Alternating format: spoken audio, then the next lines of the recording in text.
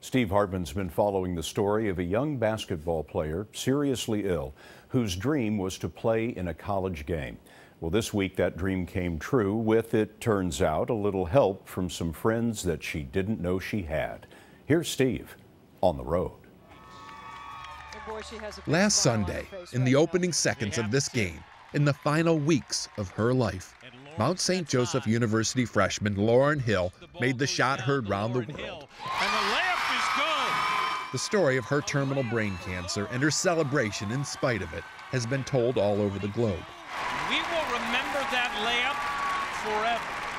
But while most news cameras were either focused on the celebration at center court or the crowd of 10,000 cheering fans, our cameraman noticed something else remarkable. He zoomed over and caught the reaction of the opposing team. A reaction that went so far beyond good sportsmanship. We just had to meet them. I can't even really describe it. So I don't know, I was just overcome with happiness, really. Most happy feeling I've ever felt of an opponent scoring. My girls. They are the Hiram Terriers from Hiram, Ohio. Go! And what they showed on the court that day surprised even their coach, Emily Hayes.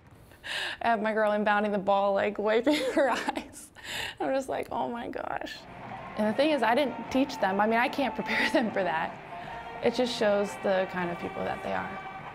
Fact is, no one deserves more credit for making Lauren's moment possible than the women of Hiram College. This team not only offered to move the game up two weeks, they surrendered their home court advantage. They wanted Lauren to be able to play in front of her friends and family. Today has been the best day I've ever had. As a thank you, the night before the game, Mount St. Joe took Hiram out to dinner, something unheard of in college sports. Their team took us in. They acted like we were their family. And we laughed together, we cried together, we all hugged. it was like a big family of huggers there. it was awesome. That goodwill extended throughout the entire game. Yeah, and at one point in the game, one of the girls, I shot a three, and she was like, that was a great shot. I'm so glad you took it. And I'm like, I'm like, this is, it's like unreal.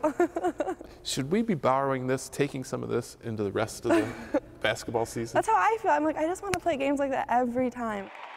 Certainly, if college sports were a little less cutthroat, kids might learn that real winners aren't decided by scoreboards. And true character isn't defined by how often you make the highlight reel, but rather how you behave when you think nobody's looking. Steve Hartman, on the road in Hiram, Ohio. Amen. And that's the CBS Evening News for tonight. For all of us at CBS News all around the world, I'm Scott Pelley. I'll see you Sunday on 60 Minutes. Good night.